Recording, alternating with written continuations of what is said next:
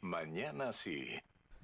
Y como lo habíamos dicho, ¿no? Eh, la semana pasada, con este cambio ¿no? de estructura que estamos llevando adelante en el programa, se suma Lu Genovesi martes y jueves. Hola Lu. ¿Cómo le va? Oh, del otro lado del mostrador, ahora. Estamos invertidos. ¿Qué, Me siento ¿Qué ha- rara. ¿Qué ha pasado? ¿Cómo, ¿Cómo? va? Bien, ¿vos? Muy bien, todo tranquilo, por suerte, eh, sumándome en esta en este nuevo rol Claro. a mañana sí. Eh, sí, hoy les traigo, te traigo algo que a- siento que a vos te va a gustar porque a vos te gusta mucho la movida del Congreso. Sí, me encanta. A vos Sí, te gusta sí, mucho sí. analizar la movida legislativa y en ese sentido eh, el parlamentario, el sitio web del parlamentario, realizó un informe, un índice que lo realiza todos los años de calidad legislativa. ¿Mm? ¿Qué mide este índice? Mide la participación de cada uno de los diputados en el año legislativo. ¿Cuánto hablaron o cuánto no, No. hablaron? Mm. Vamos a hacer una- un paréntesis. A ver, Que hablen mucho, que hablen poco, no es sinónimo de nada, claro. pero te da una pauta. Sí, de la participación. A ver, eh, se ha visto, por lo menos en sesiones maratónicas, donde hay temas como muy, muy sensibles eh, que afectan ¿no? a toda, a toda la, la vida nuestra, que la participación de algunos diputados es Bueno, brilla por su ausencia. Bueno, tengamos en cuenta varias cosas. El año pasado fue año eh, de elecciones, por lo cual suele bajar bastante la actividad legislativa. Hmm. Eh, encima fue un año presidencial, fue uno de los años en los que menos sesiones hubo, hubo apenas 11 sesiones, Claro. incluyendo la preparatoria, durante todo el año. Sí. Todo el año que el año legislativo en realidad va de marzo a noviembre, pero hubo tan solo 11 sesiones. Claro. Y en ese sentido hubo casi 50 diputados y diputadas que no dijeron una palabra, Ni una. Ni una, nada, cero. Aparte, Lu, lo que, lo que pasa es que, que la Cámara el año pasado, ¿no? Eh, eh, y, y este año también, tenés figuras fuertes. Sí, Por ejemplo, qué sé yo, eh, la expectativa de lo que va a decir Máximo Kirchner, por ejemplo, ¿no? Eh, o en ese momento, cuando era diputado, Javier Milei, ¿no? Exactamente. Este, eh, bueno, figuras que marcaron por lo menos el, el- el- el norte, ¿no? O por lo menos levantaron la temperatura en un marco político, como decías, de elecciones, de campaña, donde cada palabra era tomada este, para bien o para mal, pero que tenía como un nivel de, de peso muy fuerte. Sí, igual te va a sorprender. Mm. Vos decías, Javier Milei, es verdad, el año pasado fue diputado de la Nación. De hecho, hoy en día se le reclama el tema de la aprobación de la ley de ganancias, su voto afirmativo. Pero mencionó solo, dijo solo 1576 palabras. Está en el puesto número 110 Muy poco. de los diputados. Máximo Mm. Kirchner en el 153. Dijo solamente el año pasado 776 palabras. Muy o sea, poco. gente que fuera del recinto tiene mucho renombre y Claro. tiene mucho volumen político. Dentro del recinto, por ahí, el año pasado se desinflaron. Sí. No hablaron mucho. Tienen un perfil bajo, ¿no? O sea, vuelan rasante. Vuelan bajo. Sí. Exactamente. Que uno piensa, digamos, es un lugar importante de dar el debate en el recinto. Porque Lógico. En realidad, digo, en los medios uno puede ir, venir, bla, bla, bla, pero el trabajo de los diputados es trabajar en función de nuevas leyes y aprobar o, o digamos, o debatir Hmm. esas leyes. Bueno, eh, la persona que más actividad, digamos, eh, discursiva tuvo el año pasado en el Congreso Sí, eh, es Romina del Pla. Fue Romina del Pla claro.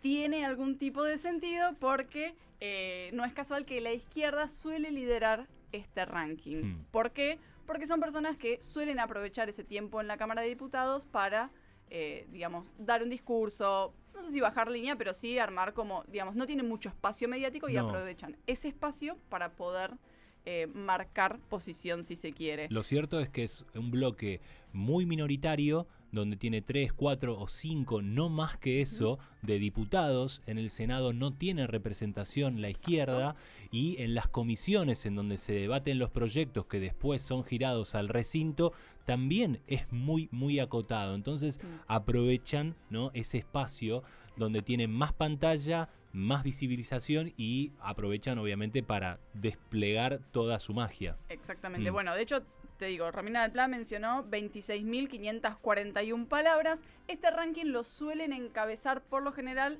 los eh, presidentes de la Cámara. Claro. ¿Por qué? Porque son los que, digamos, van administrando el juego legislativo Mm. y cada vez que tienen que, que, presenta- que dar la palabra, tienen un juego que dice, tiene la palabra del señor diputado fulano por la, por el, por la provincia de tal. Claro, aparte de Lu, eso te, suma mucho. Totalmente, aparte de Lu, este, por lo general en, la, en, las, en los debates de recinto, los diputados tienen aproximadamente entre 5 y 7 minutos para exponer. Los cierres los hacen los jefes de bloque, que tienen un tiempo de más o menos unos 20 a 25 minutos más menos para obviamente englobar toda la posición política que tiene ese espacio en virtud del análisis antes de ir a la votación. Exactamente. Mm. Bueno, decíamos de, la izquierda, eh, no es nuevo, 2016 Pitrola resultó segundo eh, en este ranking detrás del presidente de la Cámara, que entonces era Monzó. Eh, en el año 2017, 2017 también eh, Juan Carlos Giordano fue el que escoltó a Monzó. Lo mismo ocurrió en 2021.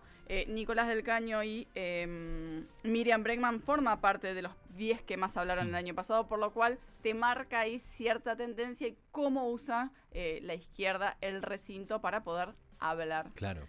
Del otro lado, los que menos. Bueno, completan el ranking primero Romina del Pla, después Cecilia Moro, eh, que fue el año pasado presidenta de la Cámara. Claro. Gerardo Martínez, en este sentido de presidente de, bloque. Graciela Camaño, Carlos Heller, Miriam Bregman, Nicolás del Caño, Silvia Los Penato, Martín Tetas y José Luis Espert. Hmm. Estos son los 10 de arriba. Top 10, sí. Exactamente, top 10. Después hay casos paradigmáticos en el medio, por ejemplo, Arroyo está en el puesto 13, que uno dice, bueno, debería hablar bastante, no tanto. De Loredo en el puesto 30 pero son solamente 5.000 palabras. Claro. Muy poquito. Y bueno, y estas particularidades de Milei en el puesto 110, Máximo Kirchner en el 153, Victoria Villarroel el año pasado dijo tan solo 709 palabras. Sí, sí, muy poco, muy poco. Sí, sí. Vidal 726. Mm. Son datos que llaman la atención por esto, por la disonancia entre los relevantes que por ahí son fuera del recinto y la el poco protagonismo dentro del debate parlamentario. Y después hay algunos casos paradigmáticos sobre el final de la tabla, podríamos decir. Eh, y ahí te pongo el caso de Sebastián Salvador. Eres un radical figuró en el puesto 196 y solamente dijo 15 palabras. 15 palabras. ¿Cuáles fueron? Señora Presidenta, dejo constancia de mi voto por la afirmativa respecto de todos los dictámenes. Y listo, Fue toda su intervención durante todo el año y con esto lo aplaudimos y terminamos. eso fue todo lo que dijo durante todo el año en el recinto. Em, también hay algunos casos que, llaman mucho la atención eh, porque hay diputados que, por ejemplo, Sebastián García de Luca lleva tres años sin dar un discurso.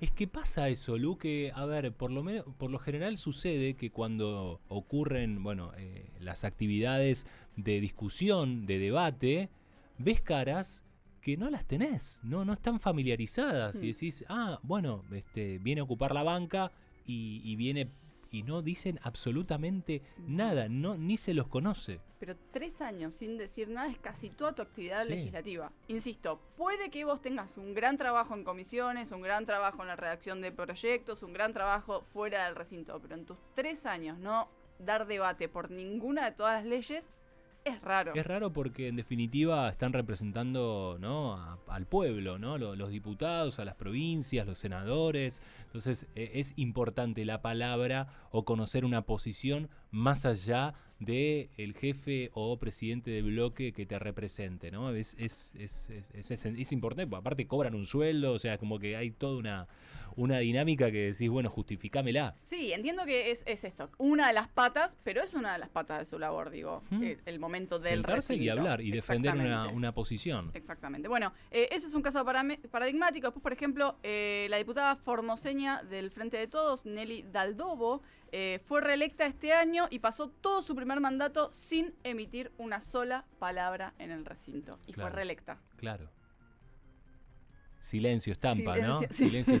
aparte, claro, aparte eh, se juega un montón esto, Lu, porque tenés diputados que por ahí no tienen un equipo de prensa no muy robusto eh, y ambicioso no como, como otros pero que están todo el tiempo enviando comunicados o, recortes o eh, qué sé yo proyectos o lo que sea y tienen de alguna forma en el caso, por ejemplo, de Marcelo Casareto, ya no es más diputado nacional, pero tenía como una participación activa con los medios de comunicación, de, de, Sí. de estar todo el tiempo mostrando este, lo que hacía, porque ahí lo ve- ese es Marcelo Casareto, ¿no? No, este es Martín Menem. Ah, Martín, foto. ah, Sí, ah, sí, Mar- sí, sí, Martín. Menem. Pero este, me pareció verlo a él.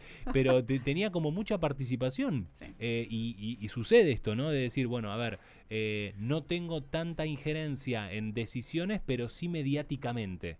Es que Mediáticamente te marco un- una agenda o soy un referente de, Por eso- espacio. Por eso hacía la diferencia. Yo siento que algunos sienten que la Cámara es el lugar no solo para defender eh, o, o debatir ideas o proyectos de ley, sino también que es para sentar posición y para tener repercusión hacia la ciudadanía. Y para otros dicen, no, yo para qué me voy a estar en hablar con la Cámara, prefiero ir a la noche el programa de tele y tengo mucha más llegada. Exactamente, Digo, exactamente. para mí ahí hay una diferencia muy Mm. grande y que queda plasmado acá. Casos paradigmáticos también, eh, ni Rogelio Frigerio, ni Humberto Marcelo Orrego, ni Claudio Poggi emitieron programa, eh, emitieron programa, emitieron palabra, estaban abocados a su candidatura a la gobernador. campaña, claro, son distintos ahora jefes provinciales que, que bueno, este, no han tenido nada. Nada, Nada. no tuvieron intervención en la Cámara eh, durante el año pasado, en la Cámara de Diputados, pensando un poco y haciendo ese trabajo de, em, de ser candidatos. Y Mm. hablando de candidatos, te traigo un último dato de, Sí. de por ahí vinculado con este informe, pero no tanto. Es el tema de Agustín Rossi. El año pasado era jefe de gabinete.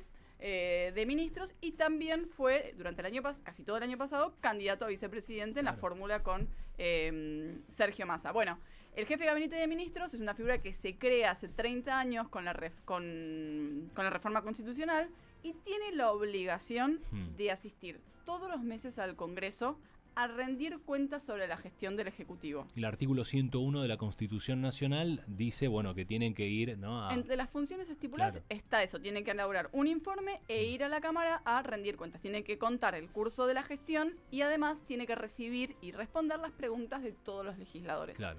Una vez por mes se alternan las cámaras, por lo general vas una a la de diputados, una a la de Senado, te das cinco a una cámara y cuatro a otra, contando este año legislativo de marzo a noviembre.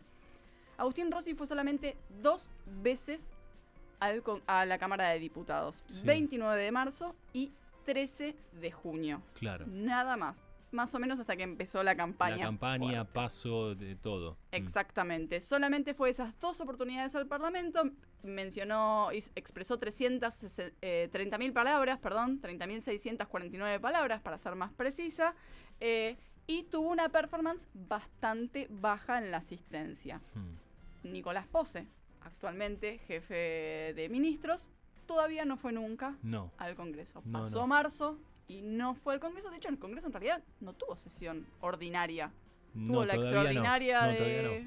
Y no tuvo sesión ordinaria. Bueno, Quedó frenado. Supuestamente Nicolás Pose, por lo que habían dicho de gobierno, estaría yendo eh, En abril, en a fines de abril. Exactamente. exactamente, había su exactamente. Mm. primera presentación en diputados que va a ser muy esperada porque es una persona que no, al revés de lo que veníamos hablando, gente de que por ahí está públicamente y demás, Nicolás Pose no se lo ve. No se lo ve y no, No se, se lo lo escucha. escucha. Eso es el tema. Hay funcionarios de- del gabinete que todavía no se han mostrado, eh, por ejemplo, a ver, un área más que importante es el de capital humano y Sandra Petovelo no, no se la ha escuchado hasta ahora en ningún tipo de declaración, no solamente algún comunicado que sacan desde la cartera, pero este Una vez sola en la puerta del ministerio, ¿te acordás cuando los hizo formar? No, les digo Sí. que anoten sus nombres. sí, sí, sí, La solamente, pero dar notas absolutamente nada. No.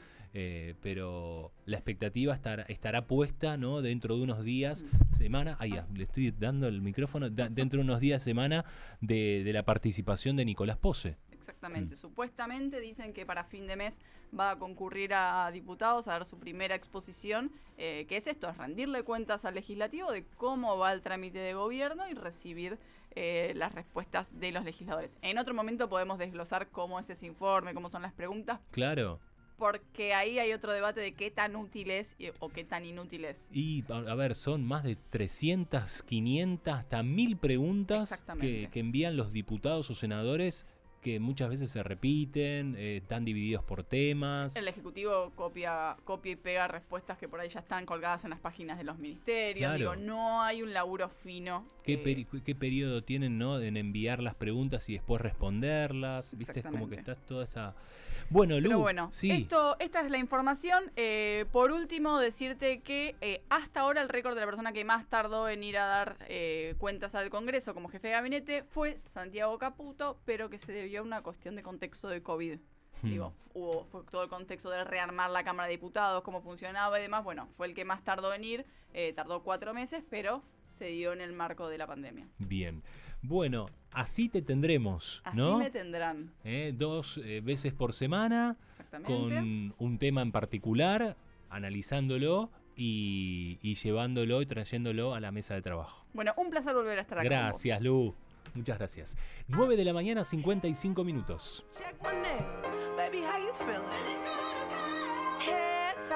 Check my